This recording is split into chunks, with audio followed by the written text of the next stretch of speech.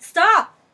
Oh my god, somebody called somebody called the police! Oh my god! Oh my god, oh my god, somebody do something! That's my baby! No!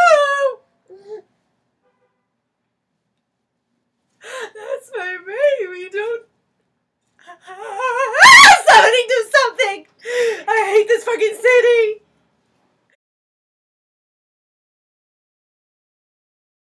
My name is Mika Gill. I'm auditioning for the role of the mom freaking out. Um, I apologize that I had to stop because my baby, my baby boy, no, my three and a half year old, um, entered um, the room. My other baby is actually right here on, on the bed. Um, but you wanted to see this audition before the weekend ends, so I hope you like it.